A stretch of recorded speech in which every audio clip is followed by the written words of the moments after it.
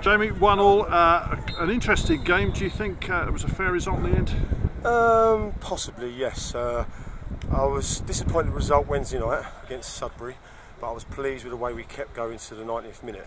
Um, like I said to the boys, we've got a young team. Um, we will get better and gel better as the season goes on. The first five or six games, it's about sticking together, competing, working hard. Um, I think we're doing that. Um, we've got a lot to learn times in games where we can take off, take take the sting out of the game by having a few few passes, a bit bit more more quality in the end, final third with shots and crosses. But overall, I'm pleased. You know, I wanted the reaction from Wednesday, and I think I've got it. This is really a work in progress for you, isn't it? It is. I've come in. I knew it was going to be hard. Uh, I'm not kidding no one. It's going to be hard. It's going to be a challenge. But it's something I'm relishing, something I'm looking forward to, and I believe that I'm capable of doing. Like I said, I said to everyone at the club, the fans, the players, keep confident, keep believing yourself. It will get better. We will, will gel, we will click. That's a brand new team. We started from the beginning and it can only get better. So overall, I'm pleased. You brought yourself on after just about on the half hour mark. What was your thinking behind that? Um, I see it. I see it coming Wednesday. Uh, we went a goal down, and I could see the second goal coming. Um, for the first 20 minutes, I was a bit disappointed. Um, obviously, when teams come to our place, I want us to press and put them in their half and not let them out. We weren't doing that as, as the game plan was. Um, so I was looking on the pitch for a bit more experience to put some of the older heads like Quabs, Aaron, Aaron Wickham, to, to, give the information to the boys. That information wasn't being across. So I learnt from Wednesday. So I tried to re react before they got the second goal. Um, I think I did come on.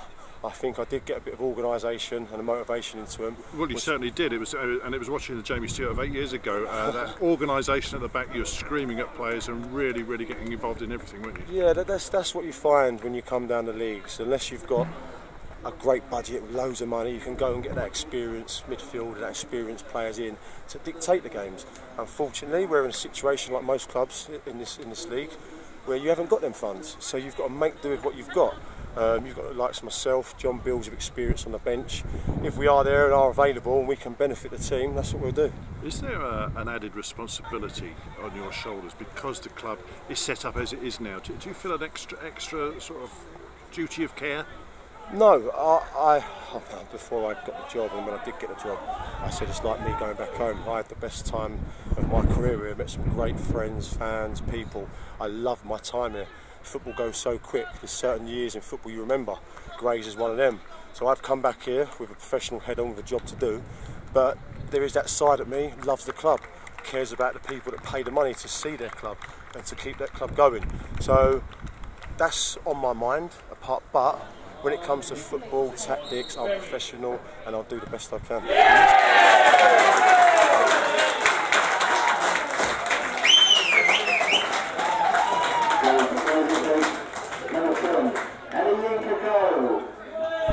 I've we've, we've got a budget. I've brought players in. There's some players I've spoken to, which will be a trial period. Uh, some players that have registered. I'm open to other players. At the I am, in, I am in talks with a couple of players. There's not been massive changes in the squad. Maybe two or three. Maybe a couple of loans during the season, depending on injuries and things like that. Um, I think at the moment we've got about 15, 14 players that are going to be with us for the rest of the season. There's still space for one or two to come in and one or two to go out and get games. Jamie, you could uh, always ask your old mate Stuart Thurgood to come in.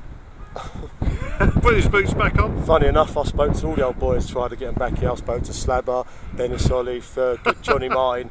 I think Johnny Martin's putting about a stone and a half sitting in a taxi in the last few years. But no, I spoke to Stuart. He's had a few injuries. As you, as you get older, it's hard to shake off them knocks, you know. But I said they're all welcome back here. They can get involved and be a part of the club. Um, it's going to be a good a good season for us. We're going to have good team bonding, and I think as well you've got to look at some of these teams have been with each other years. Half of these players don't know each other. We've had I think they've had one night out together. So as it goes on, there'll be more team bonding exercises, which I think is massively important for a team.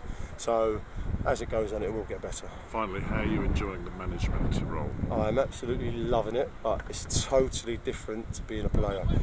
Go away, you analyse things even more, you think about personnel, you try not to upset players, you want the best for the teams. It's a, there's a lot, a lot involved, but like I said, something that I'm relishing, something I think I'm capable of doing very well. Jamie, we wish you all the best. Thank you, sir.